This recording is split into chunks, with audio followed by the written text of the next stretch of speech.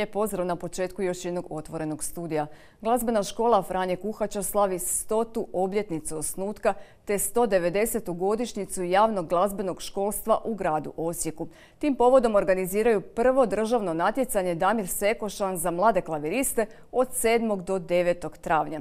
Više će nam reći naše gošće. S nama u studiju je Sunčana Bašić, ravnateljica glazbene škole. Nam došli i Tihana Ivanković, pročelnica klavirskog odjela glazbene škole Franji Kuhođa. Dobro nam došli. Hvala lijepo. lijepi povodi, lijepe velike okrugle obljetnice. Tako je. Mi smo evo ponosni na naših 100 godina osnutka, ali još ponosni na 190 godina glazbenog školstva i to organiziranog u Osijeku. E, naime, 1831. godine je e, zabilježena prva javna poduka, javna glazbena škola u Osijeku, koja je između ostalog gdje su djeca mogla e, primiti poduku klavira. Povodom svih ovih velikih obljetnica mi smo ove godine pokrenuli prvo državno natjecanje koje nosi ime po našem velikom i zaista značajnom profesoru koji je zadužio grad Osijek i cijelu županiju Damiru Sekošanu.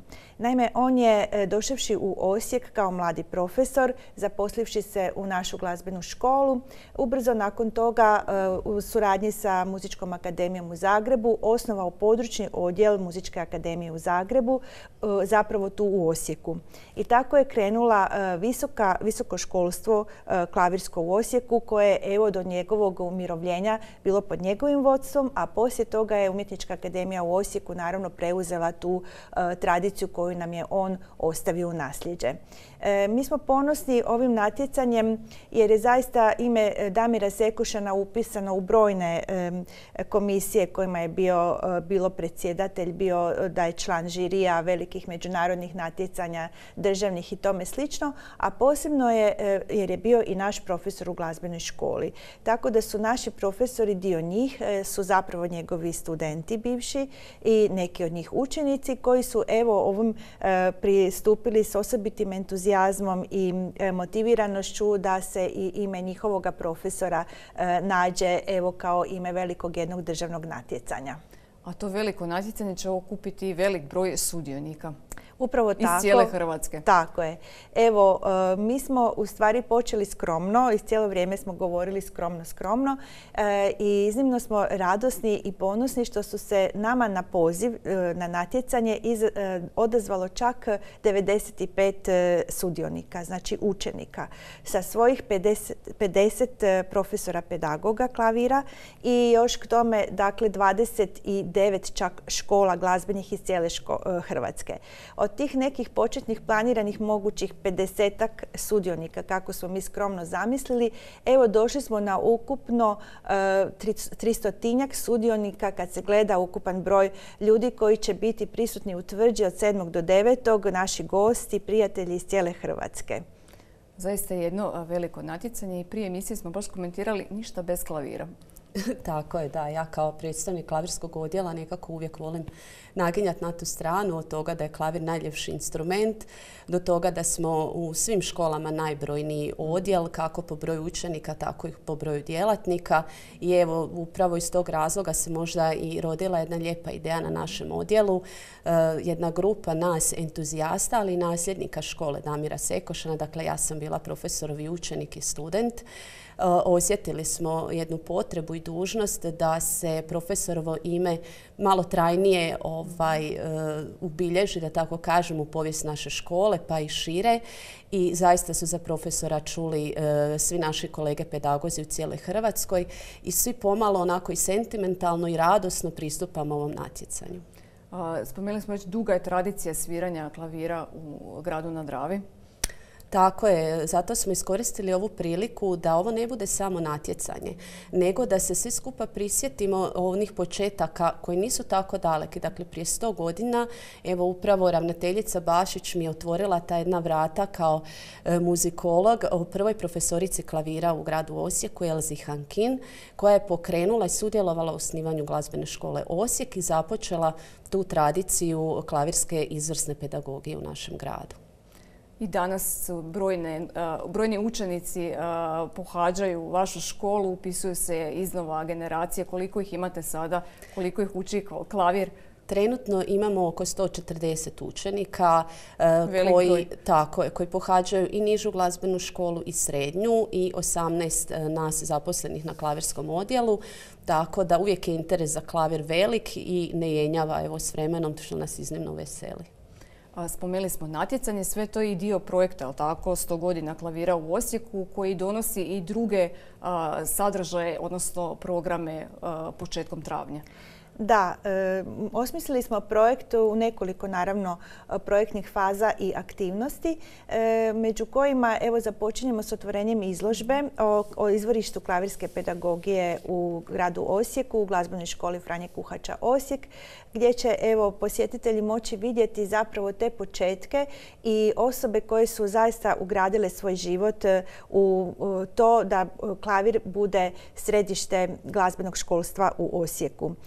Radi se o jednoj interesantnoj grupi e, žena, rekla bih, e, koje su davnih e, godina, oko 20. godina prošloga stoljeća, došle uglavnom na poziv tada ovoga dirigenta Osječkog HNK Lava Mirskog i koji ih je pozvao ili iz Zagreba, a najviše iz Beča, iz Slovačke, iz Češke, Praga i oni su se odazvali kao bračni parovi koji su radili i zaposlili se u kazalištu, ali radili i u Osijeku. Među njima je taj bračni par Hankin, Elza i Maxo Hankin, od kojih je Elza bila e, već u e, Beču zapažena pijanistica koja je sa svojom karijerom pijanistice došla u Osijek u kazalište, otvorila i privatnu školu i odmah se priključila osnivanju glazbene škole u Osijeku. Tako da nam je ona prva profesorica klavira koja je zabilježena u našim dokumentima kao osječka profesorica klavira. Biće tu i drugih, je tako, sadržaja? Tako je. Imamo znači, i koncert otvorenja i notne zbirke i tako je, sve se nekako nadovezivalo i otvaralo ovaj, puno novih događaja. Dakle, koncert otvorenja smo zamislili da, da nam sviraju također bivši učenici, odnosno studenti profesora Sekošana. Sve dakle, ste povezali? Pa sve nekako ispalo povezano, ali zapravo da, povezali smo profesor Vladimir Babin koji je ujedno i član ocjenjivačkog suda na, na našem natjecanju. Je bivši profesorov student koji je inače zaposlen na Muzičkoj akademiji u Zagrebu i s njim će na koncertu otvorenja svirati bračni par e, Renata i Ivan Karša koji su također profesorovi bivši učenici i studenti. Svi su se naravno rado odazvali, to će biti u kulturnom centru. Večer u oči otvorenja natjecanja u 19 sati, otvoreno za javnost. Evo pa pozivamo sve koji su se sigurno zaželjeli klavirskih koncerata. Biće e, obećajem izvrstan je program e, da nam dođu i da na taj način eto podrže i natjecanje i cijeli ovaj naš naš projekt. Jako lijepo. Znači 6. travnja 19 sati kulturni centar. onda je, kao što smo rekli, od 7. do 9. je natjecanje, a bit će tu i predstavljanje notne e, zbirke 10. travnja. Da, e, zanimljivo je da je isto tako naša kolegica Stanka Đambić, e, profesorica klavira i suvremenog plesa, e, ujedno učenica i studentica profesora Sekošana, skladala jednu jako interesantnu zbirku klavirskih minijatura, programskih podnaslova, Snježne bijeline, za koju recenziju napisala doktorica znanosti Mirna Sabljar, također bivša studentica profesora Sekošana i zaokružili smo tu divnu inicijativu i entuzijazam e, tiskanjem nota e, koje će biti podijeljene kao nagrada našim e, nagrađenim dakle, učenicima koji će sudjelovati na natjecanju. Dakle, za nas je ta zbirka iznimno važna jer evo govori o toj jednoj sinergiji, rekla bih, gdje je umjetnost, ondje je i stvaranje. Ne samo izvođenje, nego je i nadahnuće za nekoga, evo kao što je profesorica Stanka, koja se našla kao ulozi skladateljice.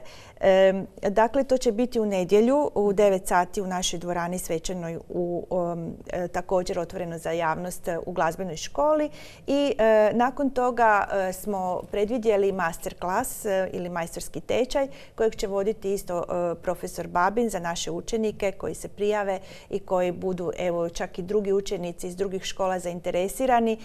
Tako da je zapravo to je jedno veliko događanje događanje koje ima puno aktivnosti, rekla bih, na, osmišljeno na suvremen način, kako se to radi i u velikim drugim kulturnim centrima koje pokreću ili imaju nešto kao što su natjecanja. Naime, uzori su nam bili druga međunarodna i državna natjecanja koja na sličan način organiziraju ovakve e, velike manifestacije. E, htjela bih napomenuti da glazbena škola ima veliku zapravo tradiciju organiziranja i partnerstva u određenim e, manifestacijama ovoga tipa, bilo da su to Partneri smo od početka i su organizatori uz glazbenu mladež dva memorijala i Darka Lukića, klavirskog, ali i Franje Krežme, gudačkog tako da smo tu stjecali svakako iskustva, ali još više e, ogromnu tradiciju, ali iskustvo produciranja, ali i organiziranja natjecanja e, povodom organiziranja EPTA međunarodnih natjecanja u Osijeku e, koja su bila organizirana od 1999. godine do evo 21. kada smo morali zbog pandemije nažalost ovo zadnje otkazati. Tako da smo tu svakako opremljeni znanjem, umjećem, iskustvom iskustvom, ali i evo, uh, ja bih ovoga puta istaknula ogromnim entuzijazmom. Ne mogu se prestati smiješiti. Uh, naši klaviristi, ja kažem uvijek moja ekipa, uh, su zaista ne dali sve od sebe, nego više od toga. Da vi vidite tu grupu, organizacijski odbor, tu su, tu su poruke beskonačne, međusobne razmjene, um, pohvala, poticanja, informacija u svaku doba dana i noći mogu slobodno reći, jel tako Tihana? Potvrdit I to je, to je nešto što sam ja kao ravnateljica zaista, mene to osobno e, na, poseban način e, nekako e, još dodatno motiviralo da se još više zauzimam za školu kojom evo ravnam. Svaka čast. Korona kriza nas je zapravo sve usporila. Evo, ovo je prvo veliko tako događanje koje organizirate, a s obzirom na sve ovo što je postalo tradicija, vjerujemo da će i ovo natjecanje postati tradicija. Pa mi to istinski želimo i potrudit ćemo se da ostane i zaista evo uželjeli smo se nakon cijelog ovog vremena, ne samo mi nego i učenici ovaj, su se vjerojatno rado odazvali svemu. Ja bi se samo nadovezala ovaj, na taj cijeli angažman i entuzijazam, ne samo organizacijskog odbora, nego i učenika svih razreda e, srednje škole koji su se aktivirali preko svoje profesorice likovnog i sa svojim radovima će upotpuniti e, cijelu, cijelu našu školu, što ni nije bilo tako planirano, ali oni u principu u srednjoj školi više ne slikaju, jel, bave se teorijom likovne umjetnosti. Od e, ne samo klaviristi, nego i puhači, gudači, svi odjeli su baš onako zdušno prihvatili ovaj, ovo cijelo događanje i stvarno nije, nije bilo teško organizirati uh, kad imate dobar tim, uh, ljude kojima ništa nije teško, ravnateljicu. Dakle, ovo je stvarno dobitna kombinacija koja podržava i od starta je prepoznala i podržala ideju, tako da vjerujemo da će stvarno biti sve I učenici vaše škole, jel tako, sudjeluju na natjecanju? Da, se pripremaju, spremni su, uzbuđeni, pretpostavljam. Jako, jako. Nekima je to prvo, prvo natjecanje. Mi smo zapravo natjecanje organizirali u šest kategorija e, za nižu i srednju školu i imamo e, malo drugačije od nekih drugih natjecanja samo kategoriju za prvi razred. Znači oni koji su početnici, tu nam je jako lijep odaziv, 25 kandidata dolazi koji su ono doslovno od nule krenuli i sad već dolaze na natjecanje, tako da vjerujemo da su oni najuzbuđeniji. Cijela škola zapravo e, diše za ovaj događaj.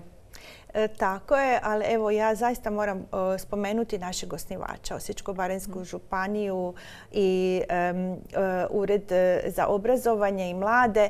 Zaista su nas podržali od samoga početka jer mi smo pokazali entuzijazam i da nam je jako stalo, a onda su oni rekli krenite. Tako da je zaista bilo, ovaj, to je jedna lijepa sinergija moram reći. Grad Osijek se uključio i evo posebno volim istaknuti naše resorno ministarstvo znanosti i obrazovanja E, što u stvari nije toliko uobičajeno da se uključuje u ovakve e, projekte. Ovoga puta su i oni uključeni, podržat će nas na sve moguće načine, a znamo koliko su i financije bitne. Tako da e, zaista možemo reći da krećemo zajedničkim snagama. Gradu pripadamo, županiji pripadamo, pripadamo cijeloj Hrvatskoj, tako da smo na svim, u svim segmentima zapravo i sve prisutni, ali i podržani konačno može i publika doći i slušati. Malo su se ipak relaksirale te mjere.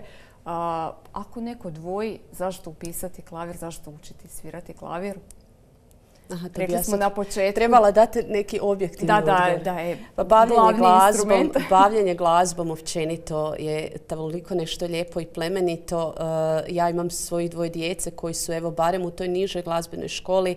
U sve ostale statistike koliko učenje instrumenta pridonosi općem razvoju od uh, matematičkih funkcija, uh, hrvatskog jezika, učenja stranih jezika, sladavanju treme, nastupanjem pred velikim brojem auditorija. E, s druge strane, e, neprocjenjivo je to što steknu u glazbenoj školi i na neki način, ako se i ne bave e, glazbom kroz cijeli život, to je odgajanje publike evo za sva naša kulturna zbivanja i u gradu i u školama, tako da evo. Lijepo ste to rekli. Koliko je važno odgajati evo, publiku? E, iznimno važno. E, sve, e, postajemo zapravo sve više toga svjesni jer je publika ta koja u stvari inicira puno toga i nekako što je umjetnik bez publike? Dakle, često je nagrada umjetniku koji nastupa samo taj pljesak koji nije samo. On je ona istinska nagrada u kojoj taj umjetnik dobiva potvrdu iz svoga truda zalaganja, ali i onoga što je uspio u svojoj imaginaciji prenijeti na publiku. To je jedna iskra koja uvijek sa umjetnika prijeđe na publiku i koja publiku u stvari zapali. E, jer kad dođete na koncert klasične glazbe, on vas uvijek promijeni. Glazba e, je i fizikalna, e, to će bolje znati fizičari od mene, ali ona zaista ulazi u nas i ona mijenja strukturu i našu fizičku, psihičku, utječe na naš duh, a e, iznimno je važna za bavljenje, e, za razvoj e, dječjeg mozga, što neuroznanost je pokazala mislim, u, puno, u puno znanstvenih radova i članaka. Dakle, dijete upišite kod nas minimum tri godine, dragi roditelji, i sigurni ste da će biti vrijedno, organizirano, da će postizati uspjeh uspjehe u, bilo kojem području kojem se bavi ako i ne izabere glazbu za profesionalni razvoj. Da, ja ništa ne sviram, ali ne bi mogla zamisliti život bez glazbe, vjerujem ni vi. svakodnevnicima nam je. kako stojite s instrumentima, kako stojite sa klavirima? E, pa, e, mi smo dosta dobro popunjena škola što se tiče glazbenog instrumentarija. E, uvijek dobro dođe novi, novi instrument i klavir. Mi nažalost Dosta često se govori o potrebi koncertnog klavira u gradu Osijeku. ga trenutno nema ovaj pravi visoke klase. Naime, naš je klavir trenutno ovaj Stenway kojega imamo. Najstariji koncertni klavir u gradu, ali ujedno i najbolji još uvijek. Tako da se vjerno, nadam se da će se e, stvoriti određeni uvjeti jer je to ogroman e, zahtjev koji bi trebao ići na, dakle, na jednu širu, širu ovaj, sliku i financiranje, da će se iznaći načina kako da se starac iz Osječke škole zamijeni mladićem koji bi ga ovaj, mogao da, tako je budućim generacijama ovaj, preko 40 godina star, tako da ima razloga. Jako se dobro da drži. Pazite, tu mi, mi zapravo kao škola jako ulažemo u održavanje instrumentarija i kupnju novih i e, to je nešto što e, vrijednost glazbene škole i glazbenih škola je i u njezinom instrumentariju. Tako da nisu to samo klaviri, to su i ostali instrumenti koje mi imamo, e, dajemo djeci u najam. Uglavnom, lijepo je, imamo dosta dobro opskrbljene učionice sa standardom od dva klavira. Mhm. Još nam možda nedostaje u jednoj, dvije, baš da su to polukoncertni klaviri jer e, e, nismo uspjeli baš sve opskrbiti e, tom vrstom, nego rade na pijaninima, ali na dobrom smo putu. Više manje imate zapravo sve uvjete za rad. Uvijek postoji prostora za poboljšanje. Ma, da, imamo stvarno izvrsne uvjete za rad. Evo, imali smo prilike obići puno glazbenih škola diljem zemlje, e, velikih škola i zaista se vole i nama vraćati i pohvaliti da imamo dobre uvjete, ali na kraju krajeva najvažnije je imati dobar entuzijazam u radu jer se nekad i u lošim uvjetima izvrsni rezultati postižu, a ono što je lijepo u našoj školi je da stvarno imamo krasan kolektiv pun mladih i starijih kolega kolega koji e, energično rade, pa sad i na novim i starim klavirima, to je možda, možda manji prioritet. Evo, ja sam sretna. Stigli smo do kraja emisije, još možda na kraju samo pozvat naše gledatelje da vam se pridruže. Evo, dragi gledatelji Slavonske televizije, dobro ste nam svi došli e, u glazbenu školu Franje Kuhača na, e, i kulturni centar na koncert otvorenja, e, ali i na natjecanja koja će biti otvorena za javnost. Dobro ste nam došli od 7. do 9. na natjecanje, 6. na koncert, a 10. na predstavljanje naše zbirke profesorice Stanke Džambić, Snježne viline. Hvala vam na gostovanju i vidimo se naravno, ako ne prije na natjecanju. Dragi gledatelji, bio je ovo još jedan otvoreni e, studio. Hvala vam na pozornosti. Ostanite i dalje uz program Slavonske televizije. Doviđenja.